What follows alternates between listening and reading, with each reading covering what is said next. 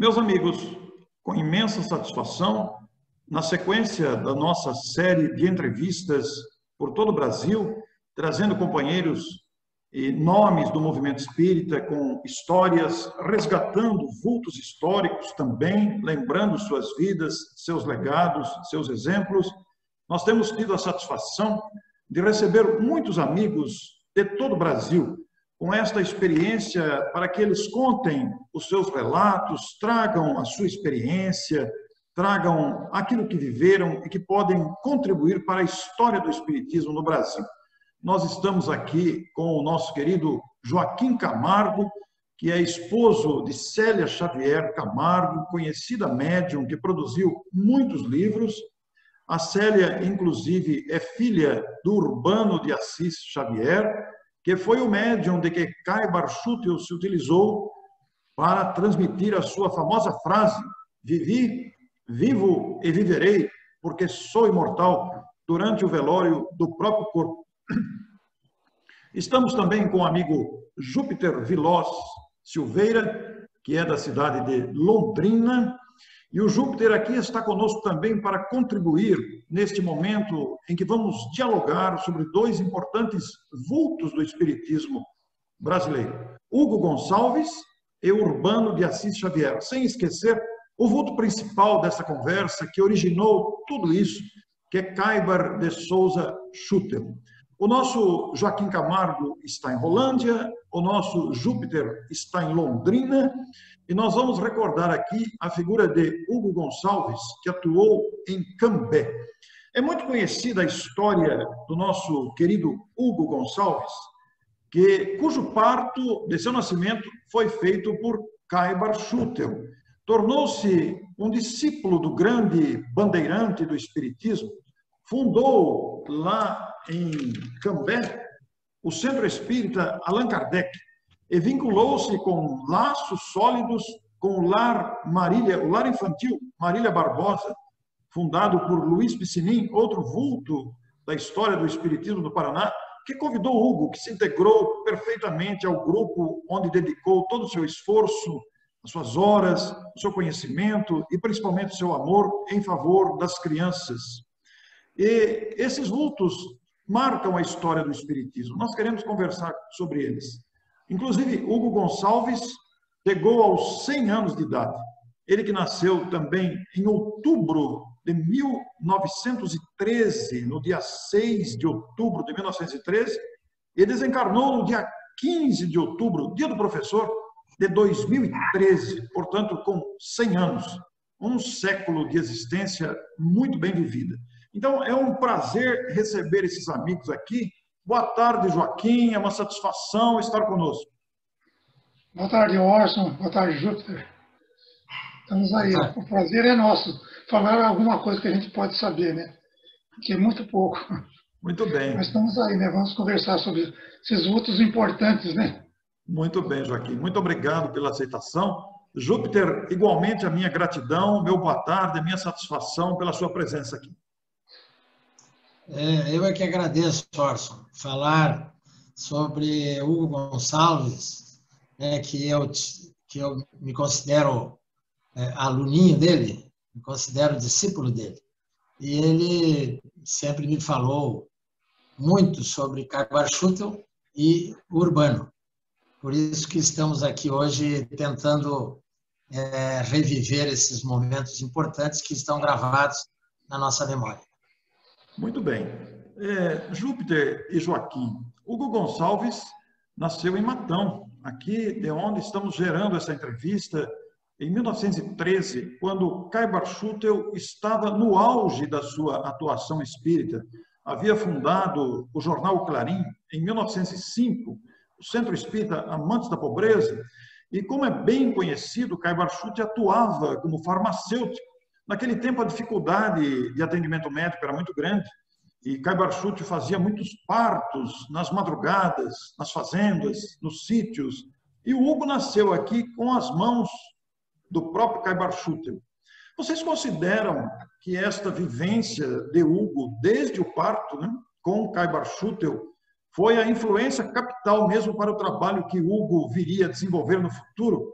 Quem quer começar com esta pergunta? É, eu posso falar. Eu acho que esses pioneiros do Espiritismo, eles vêm numa programação maior e eles já vêm com o seu compromisso delineado. Você vê que desde criança eles não se afastam. O Hugo, desde criança, nunca mais se afastou da doutrina espírita. Eles têm gravados no seu perispírito um programa é, que do qual eles não fogem. E eu tenho certeza absoluta que o Hugo é, desenvolveu seu programa, né, nas, dentro da doutrina espírita, os, viveu os postulados espíritas. Eu tive a oportunidade, uma vez, de homenageá-lo numa loja maçônica, e o único texto que eu achei, porque me achei que não poderia escrever nada que fosse à altura dele, foi o texto do Evangelho O Homem de Bem. Eu li dentro da loja o texto O Homem de Bem e dediquei a ele. E não falei mais nada. Aí é para você ver, para você avaliar é, a admiração, o respeito, o carinho e o débito que eu tenho, a dívida que eu tenho com esse espírito que muito me ajudou. É, Joaquim, a influência de Hugo Gonçalves no norte do Paraná foi enorme, né? Porque todos enorme. gostam dele, o admiram e deixou um legado luminoso de exemplos. Né? Com certeza. E, inclusive, sobre o que vocês estavam falando, né? Se veio programado, o senhor me falou que quando ele era molecão ainda, e já estava funcionando o Clarim, né, e tal, né? E o pai do seu Hugo, era companheiro do, do Schutter. Era trabalhador lá junto com o Schutter. E ele, então, é, novo, não sei se com 10, 12 anos, ele fez um, um artigo, seu Hugo, né?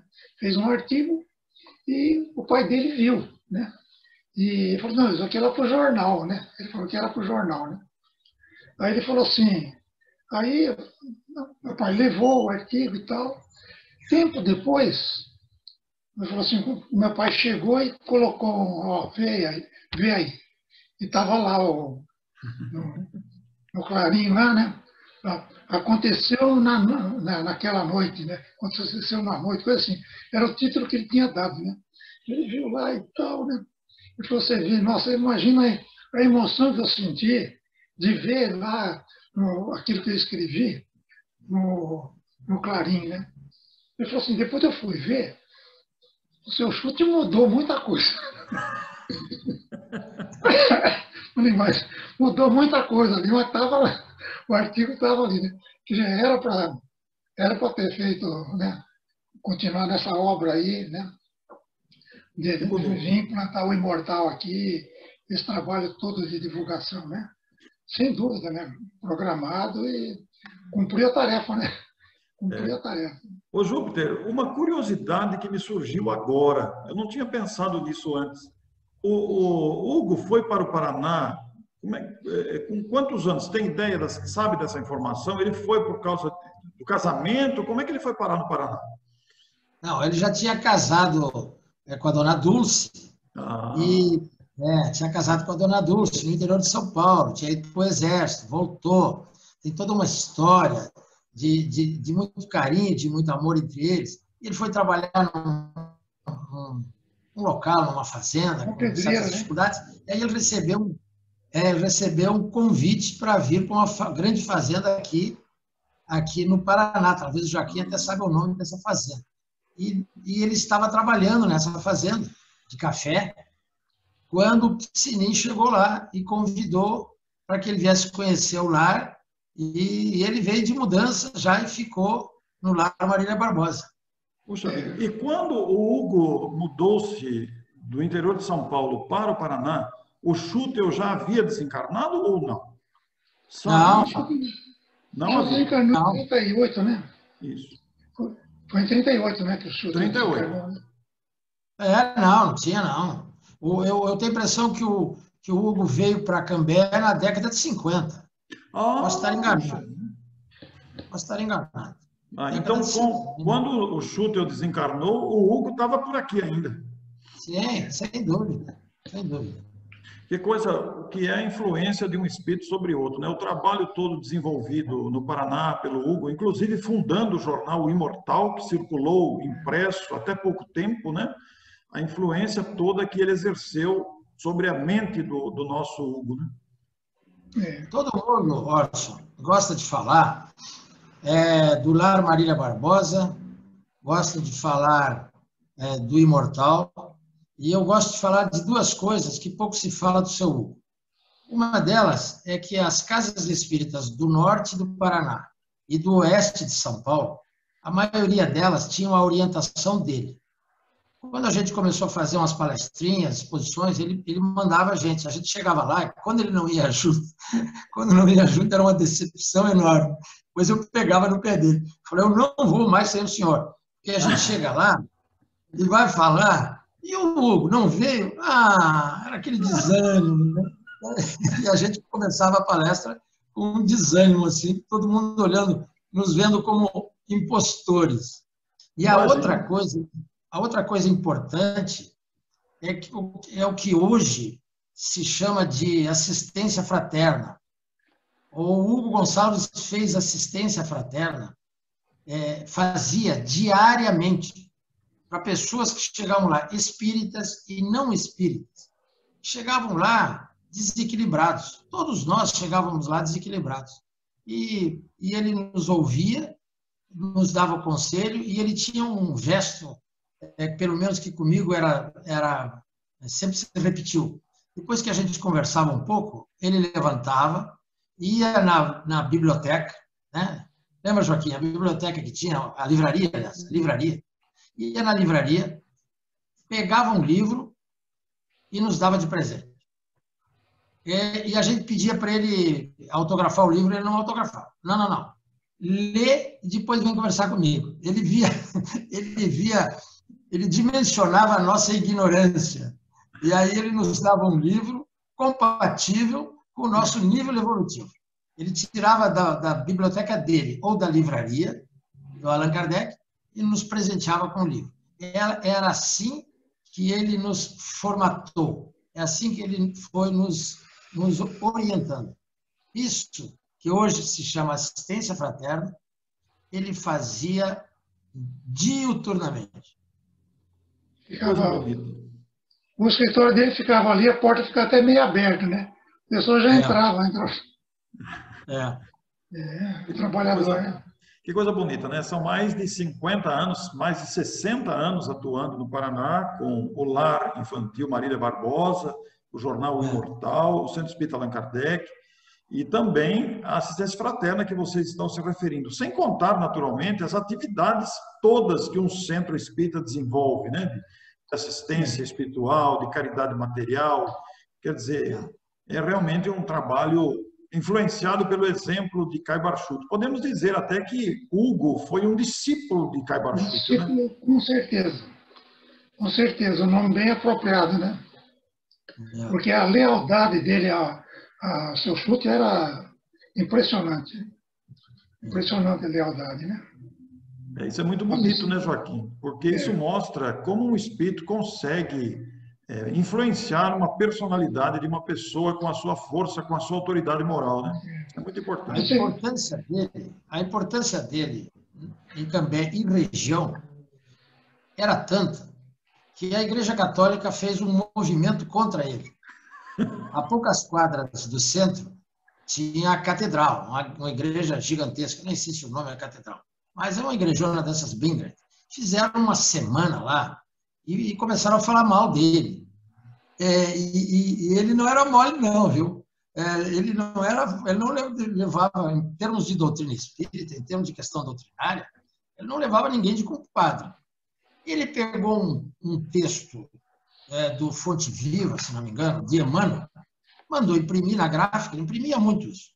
Tinha lá um 200, 300 daqueles textos impressos, ele só botou embaixo Emmanuel. Ninguém sabia que era Emmanuel entre os católicos. E mandou distribuir lá naquele povão que estava na frente da catedral da igreja lá. E o texto andou, andou, andou, andou, e todo mundo foi gostando, gostando, gostando. chegou na mão do padre que estava falando lá na frente, o padre pegou e leu o texto lá na frente. Essa, isso ele contava, ele contava como sendo assim uma, uma glória, uma glória dele. Ele fez o padre ler Emmanuel e elogiar, porque quando você lê um texto de Emmanuel, né, interpretando o Evangelho, é, é um argumento irretorquível. Você não pode mudar uma frase, uma linha de Emmanuel. Então, ele fez isso com, com o padre. Foi o troco que ele deu para as agressões que ele, subi, que ele sofreu naquela semana. É, ele era da, da têmpera de Caibachuto, que enfrentou perseguições aqui em Matão, ele presenciou tudo isso, né? E o comportamento é. e a, as atitudes, iniciativas de Caibachuto em defesa do espiritismo, ele, ele levou um exemplo daqui, né? Que coisa bonita ver isso, né? A, a é. força moral. Ele tinha um senso de humor muito grande, né, Joaquim? Era muito bem humorado, né? É, com certeza. Até, até no encerramento de certas palestras contava alguma, algum caos assim é, jocoso, né? É, eu, posso, eu posso contar a, claro. a melhor dele. Tem um, um médico, colega nosso, espírita, que estava numa situação muito difícil, muito difícil. E esse médico foi lá é, falar com ele. E, e chegou e falou para ele assim, e esse médico, quando eu conheci, quando ele era novinho, ele contava piada, tocava violão, era uma pessoa muito alegre mas ele entrou em, em depressão e mentalmente achou que ia morrer. Chegou e falou para o seu Hugo assim: Seu Hugo, eu vim aqui porque eu tenho 90 dias de vida. Aí o Hugo bateu nas costas dele e falou assim: Nuno, não se, não se preocupa, 90 dias passa logo, cara. Aí, aí o médico parou e começou a rir começou a rir, começou a rir, teve um ataque, como se diz, um ataque de riso, e lembrou de uma piada e contou uma semelhante, contou outra, e contou outra, e, e, passaram a tarde contando piada. Quando chegou no fim da tarde, o cara levantou e falou assim: Hugo, muito obrigado, estou curado, saí da depressão. Foi embora. Está vendo só? É, são exemplos de, de, fibra, de confiança em Deus, de fé e principalmente de auxílio a quem está necessitado, a quem busca ajuda. Né? Então, nós, temos aí parte bonita da história de Hugo Gonçalves, captada né, pela personalidade ímpar de Caiba Chútil, que fez esses discípulos em muitos lugares. Um deles, sem dúvida nenhuma, talvez o maior deles, seja o Hugo Gonçalves, né? que carinhosamente era, é chamado de paizinho aí no Paraná. Né? Essa, você tem ideia de por que essa, a origem do nome paizinho, Júpiter? Tem ideia disso? É porque as meninas, as meninas do lar, né, era um lar infantil é, feminino, só meninas. Ah, sim, e, sim, sim. Ele chamava a Dona Dulce de mãezinha e, e ele de paizinho. Mas a, a, a, o termo paizinho emanava da, da figura doce, e acolhedora que, que a gente se sentia na frente dele. Ele, ele era uma, um, uma imagem muito doce, paternal, paternal. Mas, ao contrário do que muita gente diz, eu convivi com ele muito, viajei muitas vezes com ele. É, todo mundo, quando você fala assim, paizinho, acha que aquele paizinho é, mimimi. Não era, não. Não era, não. Em termos de em termos de, de doutrina espírita, é, ele gostava de falar uma frase do Chico. Falava assim: Espiritismo é coisa séria. E fechava o assunto: é coisa séria. Não vem com, com conversa fiada, ele não aceitava, não. Muito bem, que bonito ouvir tudo isso. Mas nós queremos falar também de outra personalidade muito diretamente ligada a Caibar Chútil, e que naturalmente também conviveu com o Gonçalves em Matão, que é Urbano de Assis Xavier. O Urbano é o sogro do Joaquim, é o pai da médium, conhecida médium, Célia Xavier Camargo. E o Urbano foi o médium que Caibarchuto se utilizou para, durante o velório, dar a sua prova de imortalidade. Urbano era médium.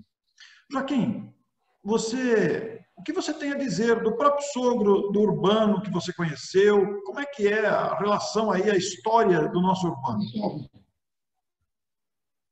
É. Então, antes de mais nada, você vê, você vê quem que vai falar do doutor Urbano. O, o, quando eu fui casar com a Célia, quando nós íamos nos casar, é, fizemos uma reunião na casa do doutor Urbano. O doutor Urbano já tinha desencarnado. Ah, já tinha. Ele desencarnou em 59. Eu, eu casei com a Célia em 65. Já fazia um bom tempo, né? E nessa reunião, eu não, eu não me considerava um cara muito equilibrado, embora estivesse trabalhando bastante, assim, ajudando no, no Educandário Bezerra de Menezes, de Marília, no movimento e trabalhando no banco lá também. Mas me considerava assim um cara muito equilibrado. Né? Aí fizeram uma reunião e um, um, um médium de confiança da família do Dr. Urbano recebeu o seu Chútil. Você estava presente? Eu estava presente nessa reunião, né? eu estava tava namorando a Célia, estava né? noivo da Célia. Aí, sabe o que ele falou? Ele falou que o doutor Urbano é, pretendia dar uma mensagem, mas acho que ele, ele considerou que talvez não tivesse condição. Mas então ele pediu que ele, seu chute, é, fosse lá conversar com o pessoal, né? Falou para a assim, minha irmã, é, depois de cumprimentar todo mundo, tá, minha irmã, eu vim, o teu pai mandou vir falar para você que ia avalizar a tua, o teu retorno aqui. É, é uma oportunidade que você não vai poder perder. Então, a, a, a mensagem veio para mim. Eu ia correr um risco muito grande casando comigo. Eu não era um cara muito equilibrado. Bebia era aquele tempo. Então você vê que coisa, né? embora fosse espírita, né? Falei, vixe, Maria, se o seu chute falou isso daí, Deus nos orgulha está pulando, né? Então você vê que coisa, né? Ô Joaquim, e... você já era espírita? Já era espírita. É mesmo? Mal espírita, não era, não estava naquele ícone dos bons espíritos. Então você vê que coisa, né? E, e então ficou isso aí, pô, nos casamos e tal, o curso da vida, atrás de, de interesses, né, de coisas do, do, do, movimento espírita de Marília, das coisas da gente mesmo, né? E você vê que coisa. Essa parte eu imagino que o doutor Urbano deve ter. É, ele foi, ele desencarnou com 47 anos, né? Então ele deve ter sofrido bastante com as lutas da gente aqui, né? da família toda, né? Teve diversos filhos com problema e tal, né? Mas uh, o importante é a história dele, né? A história dele foi, foi muito importante. Quando você começou a namorar a Célia, é, você estava em Marília? Morava em Marília. Ah, sim. Porque você falou doutor Urbano, ele, ele era ele era médico, dentista? Ele era dentista. Ah, dentista. Era dentista. Até, você vê que coisas interessantes, né? É, quando ele desencarnou, acho que foi em 59, depois eu fui para trabalhar em São Paulo tal, né? E, em 60, né? Em 59, um grande amigo do doutor Urbano, era grande amigo, é grande amigo meu, está do lado dele lá e continua. Às vezes a gente conversa com ele também. Né? Chama Benedito, que era um, um, um bom médico depois do desencarne doutor Urbano. E ele falou assim, o Joaquim, você não quer dar uma mão para mim? É, o doutor Urbano desencarnou e eu quero ir lá arrumar ele e tal. Né? Ele era enfermeiro. Minha mãe trabalhava no Hospital Espírita e esse menino trabalhava também. Era um enfermeiro lá da, do Hospital Espírita de Marília. Você não quer ir comigo lá? Eu falei, não. Ela falou, eu nem namorava a Célia. A Célia às vezes ia na mocidade lá, né? Mas não havia interesse.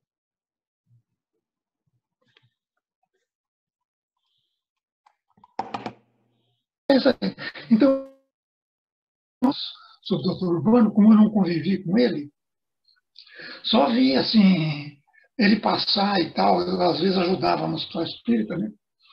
E, então eu não convivi com ele. Então eu perguntei para um, um concunhado meu, é, como é que era o convívio dele, nunca casou né, no, é, antes que eu. Né? E eu falei assim, ô Décio, como é que era doutor Urbano com, você? Falei, ah, não, não dá para falar nada, eu, eu namorava escondido, o homem era bravo. então eu não tive esse problema de namorar escondido. Mas tá ele vendo. Então, é, o, o Joaquim, né? E depois que você se casou com a Célia, a, a Célia, referindo-se ao pai e sobre a mediunidade dele, ela fez muitos relatos da mediunidade dele ou não? A Célia. A gente viu muitos relatos, né? eles falaram assim, falavam da, das, dos diversos fenômenos que aconteciam, né? de fenômenos de voz direta, de, de cura, muitas vezes, né? de, de. Como é que chama? De transfiguração até. Ah, transfiguração também. De corporeidade, coisa assim. É. Inclusive, inclusive no, no livro dos médios, a tradução do Sr. Herculano, o Sr. Herculano era muito amigo dele. Passava as férias do Sr. Herculano, ele, quando não morava em Marília, eles moraram em Marília juntos, uma época, né? Mas ele morando em São Paulo, em outros lugares, né? O, nas férias do, do Circulano, ele ia para Marília. Sim. Porque ia participar de, de diversas reuniões, né? E, Onde o Urbano participava também, né? O Urbano também participava. Hã? O Urbano também participava. Com o Herculano. Participava. É. O, acho que é o contrário, tem o senhor Herculano que ia na casa dele, sim, ia sim. ter reuniões mediúnicas e tal, né? E, é, mas o, inclusive o Sr. Culano, numa tradução do livro dos médios dele, quando fala de bicorporeidade, coisa, é, ele tem uma, tem uma nota que ele menciona a mediunidade do Dr. Urbano. Fala de um, de um, de um fenômeno né, é, mediúnico que aconteceu né, em, numa reunião em São Paulo. Né. O Dr. Urbano viajava muito também. Né? Sim.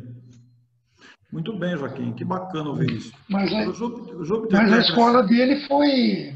A escola dele foi Matan, foi Tsussuto, né? Ele viveu com Carbachuto. A né? escola ele, do. Ele atuou como médium lá no grupo de Carbachuto. Né? Ô Júpiter, é, você tem algum. O... Algo que gostaria de acrescentar? Eu não ouvi a sua pergunta. Você tem alguma coisa que gostaria de acrescentar?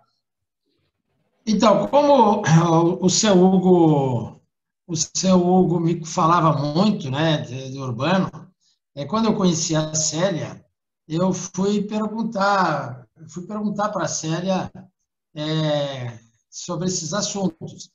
E ela me falou, me falou é, sobre é, voz direta, escrita direta, todas essas coisas. E eu falava que a Célia tem que escrever. Sério, você precisa escrever isso aí, porque isso vai se perder. Isso vai ficar perdido. Nós, a doutrina espírita não tem, não tem memória, né? Então, é... Vou pegar depois, mas... E, e nós... É, eu insistia com a Célia, eu já te falei, e um dia eu percebi que a Célia não gostou que eu estava insistindo muito com ela, é, que eu Sim. falava, você precisa escrever, né? E aí eu parei de, parei de falar isso, isso com ela. Mas o, o que eu achei interessante, que uma vez ela me contou, a Célia falou, que quando ela era criança, e ela, perce, e ela via, é, percebia os fenômenos de escrita direta e voz direta, ela achava que isso acontecia em todas as casas das amiguinhas dela. Ela achava que isso era uma coisa comum em todas as casas. Que ela, ela percebeu isso. Isso foi a Célia que me contou. Né? Eu fiquei impressionado com isso. Fiquei impressionado. Eu falava, sério, você precisa escrever isso. Né? E o seu Hugo é, acrescentava mais coisas. Né? Sempre falava isso que o Joaquim estava dizendo. Toda a fenomenologia que envolvia, que emanava da mediunidade é, do urbano e a equipe espiritual que o secundava. Que bonito isso, que bacana, né? É. Quanto a isso aí, viu, Júpiter? O, o Herculaninho, filho do seu Herculano, ele tempo atrás ele veio Ele vinha, vinha insistindo para. Você vê que coisa, né? É, parece que não é para escrever quase nada do doutor Urbano, né? Ele falou, ficou quase um ano. Falou, Joaquim, você precisa mandar coisa do doutor Urbano que a gente tem que divulgar, né? Porque ele e meu pai trabalharam muito juntos tal, e tal, né? E até que eu consegui achar, porque depois que o doutor Urbano desencarnou, uns, uns filhos levaram as fotografias, o negócio, documento dele, outro levou outra coisa. Então, em vez de ficar com alguém que zelasse ali e tal, ficou tudo partilhado. Ó, leva essa fotografia, outro levou, distribuiu em, em seis filhos que estavam, né? Distribuiu e tive juntar isso tudo de novo, né? E conseguimos alguma coisa, eu mandei para ele, né? Então, o Herculano escreveu assim, é, Urbano conviveu com Herculano Pires em Marília, trabalhando juntos no movimento espírita, na divulgação da obra de Kardec. Conta Herculano Pires que Urbano transformava-se de tal maneira ao receber o espírito comunicante que este era facilmente reconhecido pelas pessoas amigas, sem necessidade de dizer o nome. Chegava às vezes à transfiguração, ficando o seu rosto com os traços que o espírito comunicante tinha quando encarnado. Isso aqui foi, o, foi o que o senhor Herculano falou sobre o. Né? Então, falando que essa nota, né, que a Francisca tinha desenvolvido voz direta também, caindo em transe mediúnico enquanto os espíritos falavam diretamente com os presentes. É, vibrando a voz em pleno ar. Herculano conta. Herculano conta. Tivemos ocasião de palestrar com entes queridos através desse maravilhoso fenômeno, em sessão realizada com Urbano em Marília, e na mesma sessão outras pessoas puderam fazer o mesmo. Interessante, né? E depois aqui ele menciona a nota, uma nota quando, no livro dos médiuns, Herculaninho, Herculano Pires ficou tão impressionado com essa mediunidade de Urbano que acrescentou em sua tradução do livro dos médiuns uma nota de rodapé. É na, no capítulo 7, né, quando fala de mediunidade de transfiguração é, melhor, de bicor, bicorporiedade e transfiguração. Interessante, né? É, Ele são, tinha. Muito interessante. São Ele fatos tem... que marcam mesmo a vida de um médium, de uma pessoa, né? E fica para a história, para o, o acervo do, do, conhecimento espírita, né, Júpiter? É, eu acho que é, esse trabalho que vocês estão fazendo aí é, é fundamental, né? Porque a gente é procurado pelas pessoas, né? É quanto mais a dor campeia, é, a necessidade das pessoas é, é, espiritualizarem a sua existência é, se torna imperiosa. E, e para cada inteligência, para cada cultura, é, as pessoas questionam muito e perguntam. Sim, é verdade. Perguntam mesmo é realmente uma, uma, um detalhe interessante. Você vê uma coisa, né? Como o seu Hugo nasceu lá em Matão, colheu todo aquele aprendizado do seu Schutel, que era para aplicar aqui no norte do Paraná, pegando mais da metade do estado do Paraná, né, sofre influência dele, o estado todo.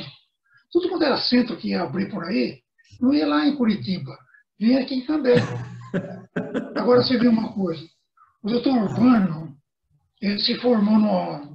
Ele é baiano, numa cidade chamada Esplanada, se formou dentista lá na, em Salvador, né, na, é, lá em Salvador, isso em 34. Isso em 34. E, e formado, ele veio aqui para o estado de São Paulo, trabalhar numa, numa cidadezinha pequenininha chamada Santa Ernestina, até seis quilômetros de Matão. Católico, casou com mulher católica, dois é, marianos, né? ele chegou a ser presidente da congregação mariana, e aí ele casou em, ele casou em 35, ele formou em 34, casou em 35. Depois de casado, começaram a ter fenômenos. Né? Vocês ouviram falar né, de, de que o, o dentista o dentista ficando doido, né? Que escutava ele gritando, não sei lá e tal, né? De noite. Ele ficava tomado. E o pessoal falava, o homem está ficando louco, né? E ficava gritando, não sei lá e tal, né? falando, falando alto. E no, no fim, ficou uma situação que recomendaram ele procurar o farmacêutico de Matão. Pô, isso que é receita certa, né? Tá bom, mas, mas, viu, Joaquim? O farmacêutico isso, de Matão. Né? Isso é o que o Júpiter estava falando, a importância dessas questões. As pessoas precisam de ajuda e procuram. E tem quem encontrar, né, Júpiter? É. Como foi o Chute e como foi o Hugo, né? Então, agora você vê, você vê que coisa eu estava vendo, né? O seu, seu Chute desencarnou em 38. Ele precisou de três anos, né? De, 30, de 35 que ele foi lá, né? E casou e ficou, começou com, com os problemas, né? E o seu Chute falou, não, isso aí não é assim mesmo, aí você vai conhecer, você vem aqui toda semana, que a gente vai te orientando e tal. E frequentava, então pegava a charetinha toda semana e ia para Matão, né? Até mudar para Matão. Né? Mas você vê que coisa, né? Aí o, o espírito que fazia aquele barulho todo lá era um padre. Era o espírito de um padre que pensava que estava fazendo uma pré-eleição no púlpito lá, né? Que coisa, né, Joaquim? Depois, coisa é. interessante tudo isso, né? É. E depois tem o espírito mentor. Né? Fala, o espírito fala, mentor lá orientava. Orientava é. a dona Bertinha, porque a mediunidade dele era inconsciente, né? Então ele não sabia o que tinha acontecido, né? Então ah. orientava a dona Bertina, ó, ó mesmo, você pega, você faz assim, você faz uma prece, né? Vai falando e tal. E trata de ir lá para Matão, né? É assim que ele se tornou espírita e e ficaram amigos, né? Ficaram amigos. O Schotel e o, e, e, o nosso Urbano ficaram amigos. Muito ah, interessante. Ah, muito amigos, é. Ah. Três anos importantíssimos, né? É. Fala, Jorson. Sim. É, é, esses missionários, eles já vêm com um programa. Então, se é. você, você conhece a história de Eurípides, Sim. a Fazenda Santa Maria era um bando de, de peões, a maioria analfabetos, todos médiums. Tinha domador de cavalo, de burro chucro lá, que era médium. Eles, é, é, aquilo foi tanto o derramamento do espírito sobre a carne naquele, naquela fazenda que atraiu a estrela máxima é, daquela época, que foi Eurípides. É a mesma coisa que nós estamos falando aqui. Tudo é um programa é, o que a gente. É, mas nós estamos hoje dentro de um programa. Isso, tudo isso está programado. Eu, eu gosto de brincar é, que a gente, a gente não tenha que atrapalhar o programa. Se a gente não atrapalhar, é, os espíritos bondosos nos levam é, para que a nossa programação tenha um fluxo normal. O que a gente não pode é inventar e atrapalhar. É verdade. Para que coisa flua normalmente. Muito bem. É muito importante a gente estar tá fazendo isso porque registra né, aspectos históricos do Espiritismo à nossa volta, conosco, deixando registrado na história esses fatos. Né? Ah, até porque, né, Joaquim, você casou-se com a Célia, que também desenvolveu a mediunidade, produziu um trabalho fecundo na psicografia, né? Uma médium que produziu obras notáveis. Joaquim, e da sua experiência é, sendo casada com uma médium que produziu um legado tão grandioso para todos nós, o legado psicográfico da, da Célia é muito bom, muito expressivo, né? O que, que você gostaria de dizer da mediunidade psicográfica da, da esposa? Eu acho que foi um, um trabalho muito produtivo, né? Porque foi muito importante, muito mérito dela. Depois eu, aceitei, assim, não que houvesse rejeição da minha parte, né? foi de frequentar. Ela recomeçou, eu com, como eu vim aqui na, é, de Marília para Rolândia, e eu vim como diretor da, da faculdade que foi instalada aqui em Rolândia, eu me envolvi um pouco no meio social aí e fiquei meio de lado do movimento espírita. Sim. A Célia que recomeçou e lá fomos, né, é, junto, fomos é, é, começamos a nos envolver mais, né? Aí que veio a mediunidade, de psicografia dela, embora ela, quando é, solteira, moça ainda, ela tem escrito, escreveu alguma coisa, mas ficou relegado. Né? Não veio assim com, com orientação, que nem no caso, né? No caso da Célia, numa reunião mediúnica em Cambé, você vê o seu, o seu Hugo falou assim, Célia, tem um espírito aí que é o Gé Gonçalves. E mandou falar para você, se você quiser, e você puder reservar um dia na semana para escrever, ele quer escrever alguma coisa. Poxa, foi, foi, foi tudo o que precisava. É, Aí desencadeou e veio aquele primeiro livro, o, o Perdoa, né, do Gés Gonçalves, que é extraordinário, né? Sem a dúvida. série do Gés Gonçalves é muito importante, né?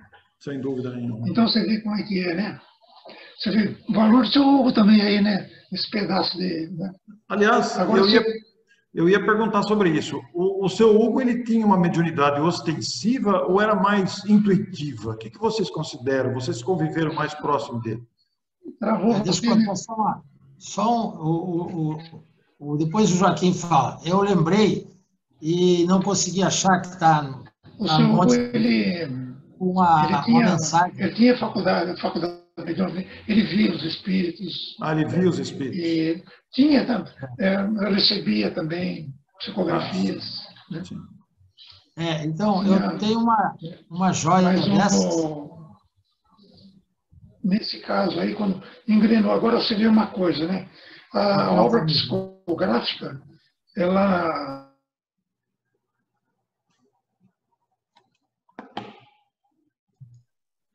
Então, você, a obra de psicografia, ela envolve, somente essas de menciona, menciona os fatos históricos, ela envolve os personagens. Então não é fácil para o médium estar tá envolvido, na, às vezes, numa narrativa de uma determinada ocasião, que ainda ficou diversos espíritos que estão ainda é, é desequilibrados e tal, ainda pressionando. Então a gente sente essa pressão. Sim. Isso é importante que o médium seja integrado no centro, não ficando só na psicografia, né, para poder. São ajudados os companheiros, às vezes evocados daquela época. E só de mencionar o nome, eles são atraídos para o trabalho para receber a, a, ajuda que precisa. Tem esse, esse mérito também. Então, o médium sente uma dificuldade, porque sente pressão. Né? Sim, a família sente, né? A família sente a pressão. É. Mas, é... Eu posso contar uma, uma pequena historinha? Pois, por favor, Júpiter. É, a gente vai no Allan Kardec durante muitos anos, a cada 60 dias, eu tinha uma exposiçãozinha lá na quarta-feira. E numa delas, é, se eu estar sentado na mesa, sempre ao meu lado, é, eu fiz a exposição e eu estava um, passando por um período difícil né? Mas não tinha falado nada para ele. Não tinha falado nada para ele. Abraço, tal, tudo bem. Fiz a exposição lá. Quando eu sentei, ele estava psicografando um bilhetinho de Caibachuta. É, e Caibachuta é, me chama de, de meu amigo, que nós tínhamos tido, que eu não lembrava, mas que nós tínhamos tido uma vivência no passado juntos. Ele me conhecia há muito tempo e palavras de incentivo, né? Que eu tivesse fé, que eu continuasse na luta, é, que tudo tudo passava tal. E era era o jeito é, da gente ver a mediunidade do seu Hugo. Uma vez eu falei pro falei pro Divaldo, o seu Hugo é, é muito importante.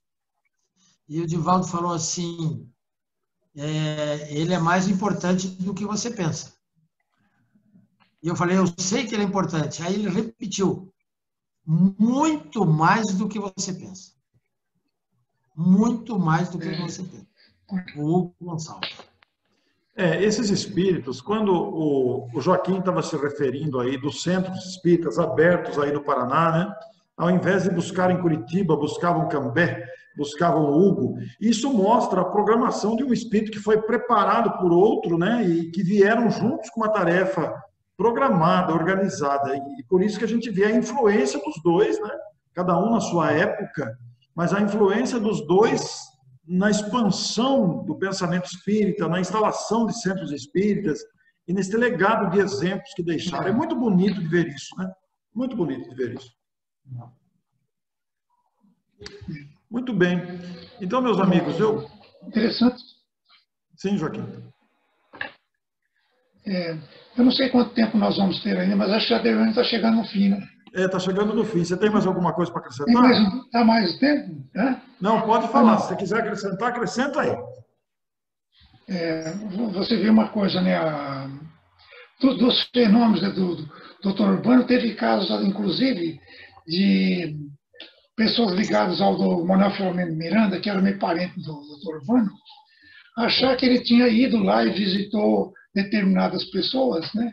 E ele não foi, ele tinha programado e não foi. Mas é, sentiram, viram a presença que ele foi lá, visitou não sei quem e não visitou outros. E cobraram dele. Cobraram dele, ué, mas você veio aqui e não foi lá em casa e tal, né? Que coisa interessante, né? Então, é fenômenos muito impressionantes. Né? É porque é o... Né? Pois não, Ju, é, pois não. É a bicorporiedade.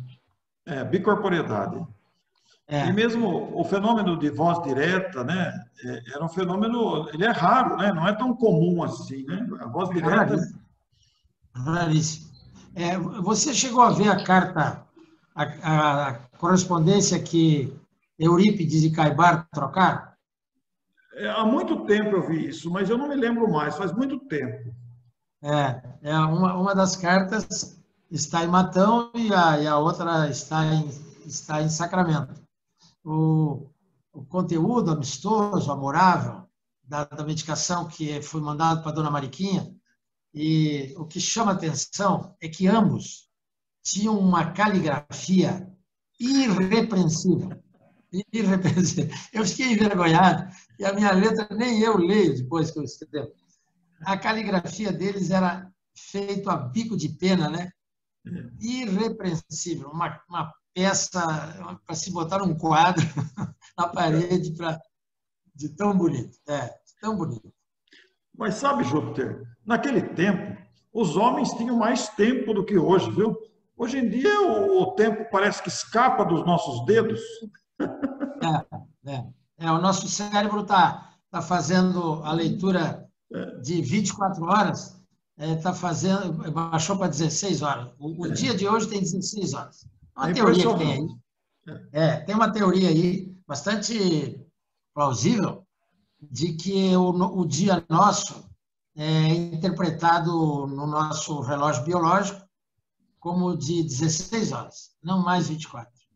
Bom, gente, eu quero agradecer a vocês por esta valiosa, esse valioso encontro, esse valioso diálogo que nós vamos publicar. Depois vocês vão receber correspondência, vão receber o link para também acessar. A gente vai divulgar e fica registrado isso na história do movimento espírita brasileiro. Né?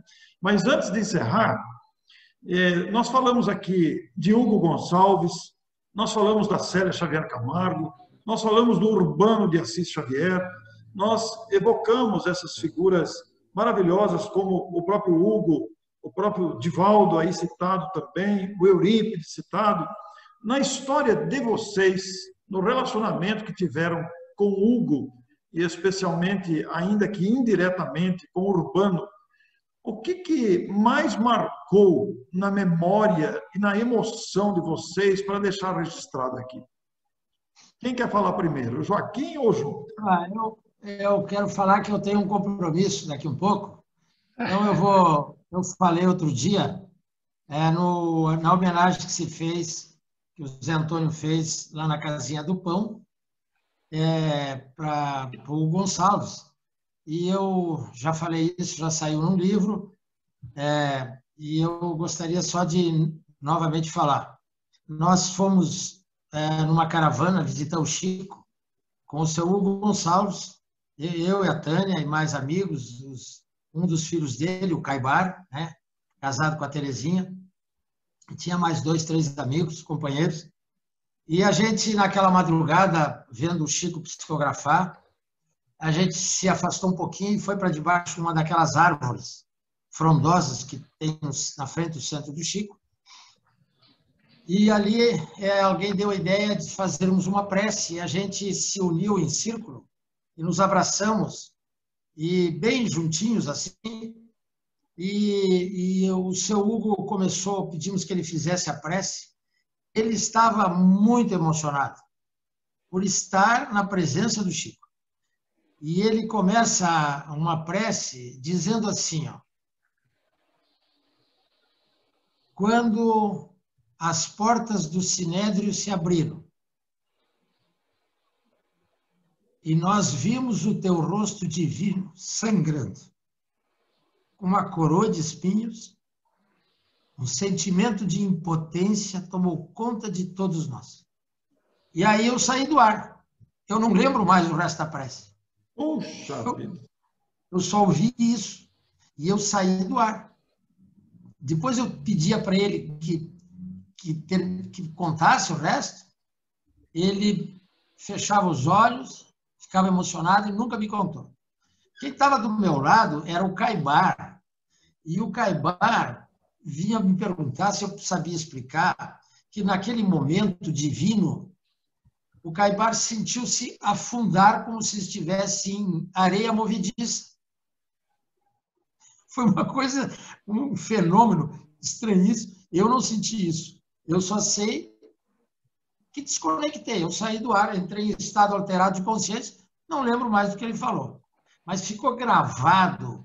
A emoção. Gravado a emoção. É, é, quando as portas do sinédrio se abriram e vimos o teu divino rosto sangrando com uma coroa de espinhos, o, o sentimento de impotência nos paralisou.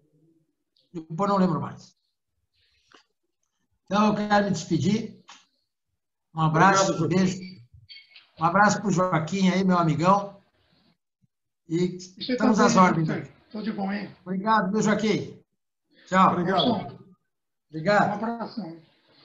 Austin, eu não podia deixar de falar que o doutor Urbano, com o senhor Herculano, eles, eles, o seu, o senhor Herculano secretariou e o doutor Urbano presidiu ah, primeiro congresso espírita da Alta Paulista, em 1946.